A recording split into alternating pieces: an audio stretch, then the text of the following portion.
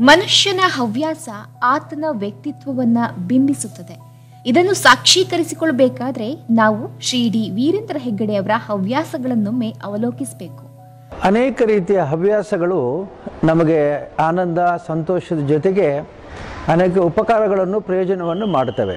ಅದರಲ್ಲಿ ಮುಖ್ಯವಾಗಿ ನಾವು ಯಾವುದಾದ್ರೂ ಒಂದು ಹವ್ಯಾಸವನ್ನು ಹಮ್ಮಿಕೊಂಡ್ರೆ ಅದರಿಂದ ಕುತೂಹಲ, ಉತ್ಸಾಹ ಮತ್ತು ಅನೇಕ ರೀತಿಯ ಜ್ಞಾನವೂ ಕೂಡ ಲಭಿಸ್ತದೆ.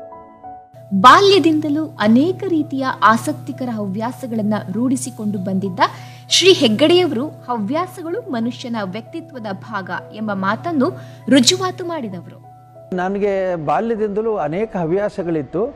ಆದರೆ ಕೊನೆಗೆ ನನಗೆ ಇಲ್ಲಿ ಕ್ಷೇತ್ರದಲ್ಲಿ ಧರ್ಮಾಧಿಕಾರಿ ಆದ ಮೇಲೆ ಉಳಿದಂಥ ಹವ್ಯಾಸಗಳು ಅಂತಂದರೆ ಹಳೆಯ ವಸ್ತುಗಳನ್ನು ಸಂಗ್ರಹಿಸುವಂಥದ್ದು. ಮತ್ತು ಈ ಕಲೆಯ ವಸ್ತುಗಳನ್ನು ಸಂಗ್ರಹಿಸುವಂತಹದ್ದು ಇವೆಲ್ಲ ನನಗೆ ಹವ್ಯಾಸವಾಗಿ ಉಳಿಯಿತು.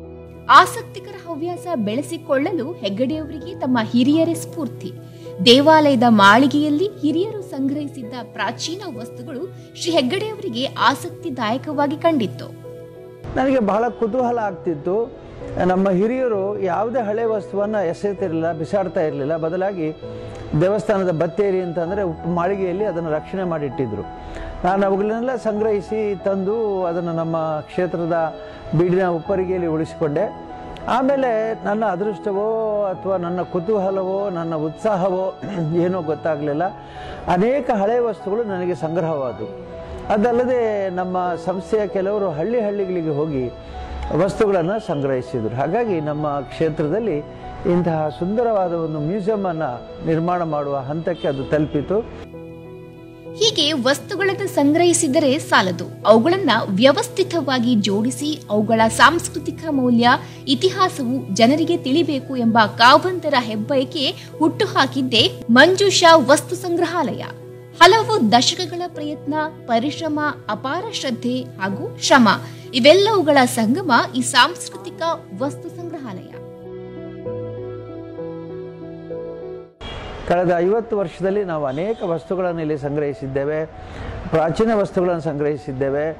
ಇದರ ಜೊತೆಗೆ ನನ್ನ ವಿದೇಶ ಪ್ರವಾಸದಲ್ಲಿ ಎಲ್ಲಿಗೆ ಹೋದರೂ ಕೂಡ ಏನಾದರೂ ವಸ್ತುವನ್ನು ತರುವಂಥದ್ದು ನನಗೊಂದು ಹವ್ಯಾಸ ಆಯಿತು.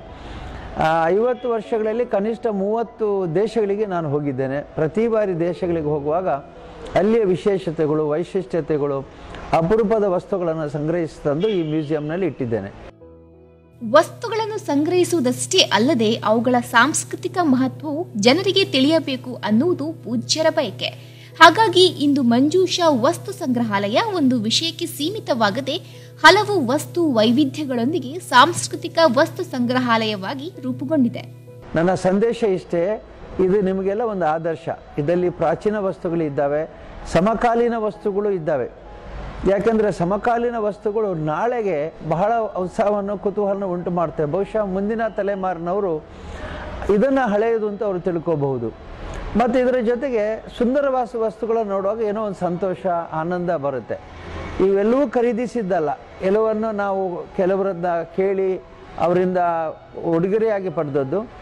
ಕೆಲವನ್ನ ಖರೀದಿ ಕೂಡ ಮಾಡಿದ್ದಿದೆ. ಹಾಗಾಗಿ ಇಂತಹ ಹವ್ಯಾಸಗಳು ಬೆಳೀಬೇಕು. ಮತ್ತು ಇದನ್ನು ದಿವಸ ನೋಡ್ತಾ ಇದ್ದರೆ ಏನೋ ಒಂದು ಸಂತೋಷ. ಇನ್ನು ಛಾಯಾಗ್ರಹಣ ಹೆಗ್ಗಡೆಯವರ ಅತ್ಯಂತ ಮೆಚ್ಚಿನ ಹವ್ಯಾಸಗಳಲ್ಲೊಂದು. ಅತ್ಯಂತ ಸೂಕ್ಷ್ಮ ಮನಸ್ಸು ಮತ್ತು ಕೌಶಲ್ಯ ಬೇಡುವ ಛಾಯಾಗ್ರಹಣ ಶ್ರೀ ಹೆಗ್ಗಡೆಯವರಿಗೆ ಕರತಲಾಮಲಕ.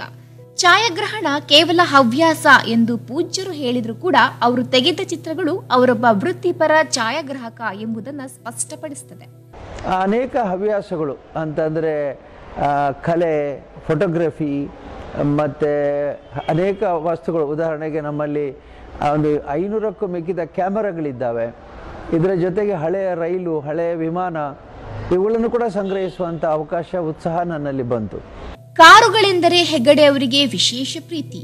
ಯುವಕರಾಗಿದ್ದಾಗಿನಿಂದಲೇ ಕಾರುಗಳೊಂದಿಗೆ ಬೆಳೆದಿದ್ದ ಈ ಬಾಂಧವ್ಯ ಧರ್ಮಾಧಿಕಾರಿಗಳಾಗಿ ಪಟ್ಟವೇರಿದಾಗ ಕಾರು ಸಂಗ್ರಹಾಲಯದ ರೂಪು ತಳೆಯಿತು ಸಾವಿರದ ಒಂಬೈನೂರ ಎಂಬತ್ತಾರನೇ ಇಸ್ವಿಯಲ್ಲಿ ಈ ಹಳೆ ಕಾರು ಸಂಗ್ರಹದ ಮ್ಯೂಸಿಯಂ ಸ್ಥಾಪನೆ ಮಾಡಿದರು.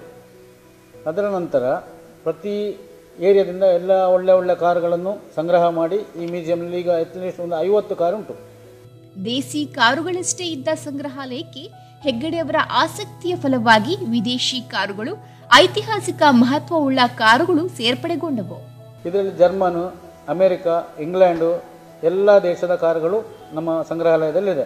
ಇದು ಸಾವಿರದ ಒಂಬೈನೂರ ಮೂರನೇ ಇಸ್ವಿಯ ಕಾರು. ಇದ್ದದರಲ್ಲಿ ಓಲ್ಡೆಸ್ಟ್ ಕಾರ್ ಇದು ರೆನಾಲ್ಟ್ ಇಲ್ಲಿ ವಿಶೇಷ ಅಂದರೆ ಮೈಸೂರು ಮಹಾರಾಜರ ಕಾರಿದೆ, ಮಹಾತ್ಮ ಗಾಂಧೀಜಿಯವರು ಉಪಯೋಗಿಸಿದ ಕಾರಿದೆ, ಮತ್ತು ನೆಹರು ಅವರು ಕೂತಂಥ ಕೆಡಿಲ ಕಾರಿದೆ, ಶೃಂಗೇರಿ ಶ್ರೀಗಳ ಕಾರಿದೆ. ಹೀಗೆ ತಮ್ಮ ಹವ್ಯಾಸಗಳನ್ನ ಜನೋಪಯೋಗಿಯಾಗಿಸಿದ ಪೂಜ್ಯ ಹೆಗ್ಗಡೆಯವರು ಎಷ್ಟೇ ಒತ್ತಡದ ಕೆಲಸಗಳಿದ್ರೂ ಸಹ ಅವುಗಳ ಮಧ್ಯೆ ಬಿಡುವು ಮಾಡಿಕೊಂಡು ಈ ಸಂಗ್ರಹಾಲಯಗಳಿಗೆ ಭೇಟಿ ನೀಡುವುದಿದೆ. ನಾನು ಸಂಜೆ ಹೊತ್ತಿನಲ್ಲಿ ಮ್ಯೂಸಿಯಮ್ಗೆ ಬರ್ತೇನೆ. ವಾಹನ ಕಾರ್ ಮ್ಯೂಸಿಯಮ್ಗೆ ಹೋಗ್ತೇನೆ. ಅವುಗಳನ್ನೆಲ್ಲ ನೋಡಿ ಒಮ್ಮೆ ಅವುಗಳನ್ನು ಸ್ಪರ್ಶಿಸಿ ಕೆಲವು ಬಾರಿ ಅವುಗಳಿಗೆ ಏನಾದರೂ ಪರಿವರ್ತನೆಯನ್ನು, ಬದಲಾವಣೆಯನ್ನು ಮಾಡೋ ಸೂಚನೆಯನ್ನು ಕೂಡ ಕೊಡ್ತೇವೆ. ಇನ್ನೊಂದು ಎರಡು ತಿಂಗಳಲ್ಲಿ ಈ ಮ್ಯೂಸಿಯಮನ್ನು ಹೊಸ ಕಟ್ಟಡಕ್ಕೆ ವರ್ಗಾಯಿಸಿ ಬಹು ಸುಂದರವಾದ ಒಂದು ಮ್ಯೂಸಿಯಮನ್ನು ರಚನೆ ಮಾಡಿ ಬಂದ ವೀಕ್ಷಕರು.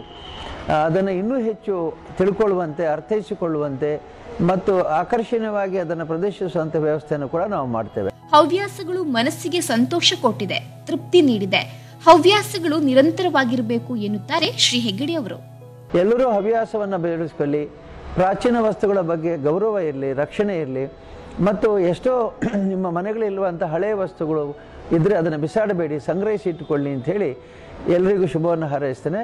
ಮತ್ತು ಮುಂದಿನ ದಿನಗಳಲ್ಲಿ ಇನ್ನೂ ಹೆಚ್ಚಿನ ರೀತಿಯಲ್ಲಿ ಈ ವಸ್ತು ಸಂಗ್ರಹಾಲಯ ಬೆಳೀಲಿ ಅಂತೇಳಿ ಹಾರೈಸ್ತೇನೆ. ಕೆಲಸದ ಒತ್ತಡದಿಂದ ಕುಟುಂಬಕ್ಕೆ ಸಮಯ ನೀಡಲಾಗ್ತಿಲ್ಲ ಎಂದು ದೂರುವವರ ಮಧ್ಯೆ ಕಾವಂತರು ವಿಶಿಷ್ಟವಾಗಿ ನಿಲ್ತಾರೆ. ಎಷ್ಟೇ ಒತ್ತಡಗಳಿದ್ರೂ, ಸಾಧನೆಗಳ ಶಿಖರವನ್ನೇ ಏರಿದ್ರೂ, ಇಂದಿಗೂ ತಮ್ಮ ಕುಟುಂಬಕ್ಕೂ ಹವ್ಯಾಸಗಳಿಗೂ ದಿನಚರಿಯಲ್ಲಿ ಜಾಗ ಮಾಡಿಕೊಂಡಿದ್ದಾರೆ.